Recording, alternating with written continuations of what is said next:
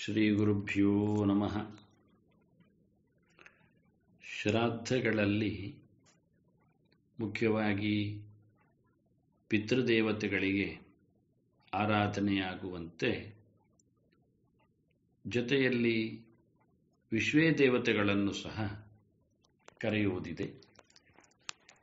ವಿಶ್ವೇ ದೇವತೆಗಳನ್ನು ಬರಲು ಹೇಳುವ ಪ್ರಧಾನವಾದ ಪ್ರಸಿದ್ಧವಾದ ಮಂತ್ರ ವಿಶ್ವೇ ದೇವಾ.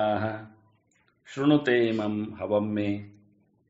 ಯೇ ಅಂತರಿಕ್ಷೇ ಯೇ ಉಪ ದ್ಯವಿಷ್ಠ ಯೇ ಅಗ್ನಿಜಿಕ್ವಾ ಉತವಾ ಯಜತ್ರ ಅಸದ್ಯಾಸ್ಮಿನ್ ಬರ್ಹಿಷಿ ಮಾದಯತ್ವಂ ವಿಶ್ವೇ ದೇವತೆಗಳು ಶ್ರಾದ್ದ ಕಾಲದಲ್ಲಿ ಆರಾಧನೆಗೊಳ್ಳುವವರು ಹತ್ತು ಮಂದಿ ಇದ್ದಾರೆ. ವಿಶ್ವ ಎನ್ನತಕ್ಕಂತಹ ತಾಯಿಯಲ್ಲಿ, ಅಂದರೆ ಸ್ತ್ರೀಯಲ್ಲಿ ಹುಟ್ಟಿ ಬಂದವರು, ಧರ್ಮ ಪ್ರಜಾಪತಿಗೆ, ಅಂದರೆ ಯಮಧರ್ಮನಿಗೆ. ಯಮನು ಪಿತೃಪತಿಯಾಗಿದ್ದಾನೆ. ಹಾಗಾಗಿ ಶ್ರಾದ್ದ ಕರ್ಮದಲ್ಲಿ ಯಮನ ಮಕ್ಕಳು ಹತ್ತು ಜನರ ಗುಂಪಿಗೆ ಒಟ್ಟು ವಿಶ್ವೇ ದೇವತೆಗಳು ಅಂತ ಕರೀತಾರೆ. ಬಗೆ ಬಗೆಯ ಶ್ರಾದ್ದಗಳು ಇರಲಾಗಿ ಇಬ್ಬರಿಬ್ಬರನ್ನು ಕರೀಲಿಕ್ಕೆ. ಆದ್ದರಿಂದ ಶ್ರಾದ್ದ ಕರ್ಮದಲ್ಲಿ ಇಬ್ಬರೂ ದೇವತೆಗಳ ಸ್ಥಾನದಲ್ಲಿ ಪೂಜನೀಯರಾಗ್ತಾರೆ. ಮೂರು ಜನ ಪಿತೃಸ್ಥಾನದಲ್ಲಿ, ಪಿತೃಪಿತಾಮಹ, ಪ್ರಪಿತಾಮಹ ಅಂತ, ಅಥವಾ ಮಾತೃ ಪಿತಾಮಹಿ, ಪ್ರಪಿತಾಮಹಿ ಅಂತ ತಾಯಿಯ ಶ್ರಾದ್ದ ಆದರೆ ಹೀಗೆ ಒಟ್ಟು ಐದು ಜನ ಬ್ರಾಹ್ಮಣರ ಆರಾಧನೆ, ಜೊತೆಯಲ್ಲಿ ಪುರೋಹಿತ ಇರುತ್ತಾನೆ. ಹೀಗೆ ಬಹಳ ಚೆನ್ನಾಗಿ, ಮತ್ತೆ ಅದರ ದ್ರವ್ಯವನ್ನು ಉಪಯೋಗಿಸಿಕೊಳ್ಳುವಲ್ಲಿ ಯಜಮಾನ.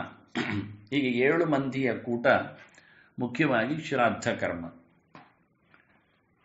ವಿಶ್ವೇ ದೇವತೆಗಳು ಸಪಿಂಡ್ಯಾಂ ಕಾಮಕಾಲೌತು, ಕಾಮ್ಯೇತು ಧುರಿಲೋಚನೌ ಇಷ್ಟಶ್ರಾದ್ದೆ ಕ್ರತೂ ದಕ್ಷೌ ನಾಂದ್ಯಾಂತು ವಸುಸತ್ಯಗೌ ಪುರೂರವಾದ್ರವವು ಚೈವ, ಪಾರ್ವಣೆ ಪರಿಕೀರ್ತಿತವು ಹೇಳಿಕೊಳ್ಳುವ ಹಾಗೆ ಸಾಂವತ್ಸರಿಕ ಶ್ರಾದ್ದ ಅಂದರೆ ನಾವು ವಾರ್ಷಿಕವಾಗಿ ಪ್ರತಿ ವರ್ಷ ಮಾಡುವ ಪಿತೃಶ್ರಾದ್ದ ಆದರೆ ಅಲ್ಲಿ ಪುರೂರವ, ಆರ್ದ್ರವ ಅಂತ ಇಬ್ಬರನ್ನು ಕರೆಯುವುದು.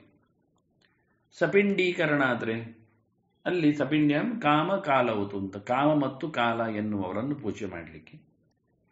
ಕಾಮ್ಯ ಶ್ರಾದ್ದ ನಮಗೆ ಇಷ್ಟ ಬಂದಾಗ ಒಂದನ್ನು ಮಾಡುವುದಾಗಿದ್ದರೆ ಆಗ ಧುರಿ ಮತ್ತು ಲೋಚನರನ್ನು ಕರಿಬೇಕು. ಅದರಂತೆ ಇಷ್ಟಶ್ರಾದ್ದದಲ್ಲಿ ಆಗುವಾಗ ಕ್ರತು ದಕ್ಷ ಕಾಮ್ಯ ಅಂದರೆ ಒಂದು ಬಯಸಿ ಮಾಡುವಂಥದ್ದು ಕರ್ಮ. ಅದರಂತೆ ಒಂದೊಮ್ಮೆ ನಾಂದಿ ಶ್ರಾದ್ದದಲ್ಲಿ ಆದರೆ ವಸು ಮತ್ತೆ ಸತ್ಯ. ಹೀಗೆ ಹತ್ತು ವಿಶ್ವೇ ದೇವತೆಗಳಲ್ಲಿ ಇಬ್ಬರಿಬ್ಬರನ್ನು ಮಾತ್ರ ಆಯಾ ಶ್ರಾದ್ದಗಳಲ್ಲಿ ಕರೆದು ಪೂಜೆ ಮಾಡಲಿಕ್ಕೆ.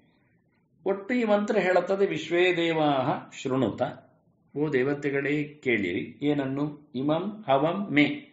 ನನ್ನ ಈ ಆಹ್ವಾನವನ್ನು, ನನ್ನ ಈ ಕರೆಯನ್ನು, ನನ್ನ ಈ ಕರೆಯನ್ನು ನೀವು ಕೇಳಿರಿ, ಕೇಳಿ ಬರಬೇಕು ಅಂತ ಅರ್ಥ. ಆ ಸದ್ಯ ಅಸ್ಮಿನ್ ಬರೀಷಿ ಮಾದಯತ್ವ, ಅಸ್ಮಿನ್ ಬರೀಷಿ.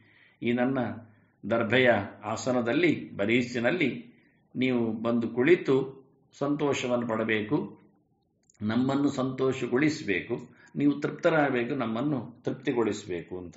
ನೀವೆಲ್ಲಿದ್ದೀರಿ ಕೇಳಿದರೆ ಏ ಅಂತರಿಕ್ಷೇ ಯ ಉಪದ್ಯವಿಷ್ಠ ಅಂತ ಹೇಳ್ತಾರೆ.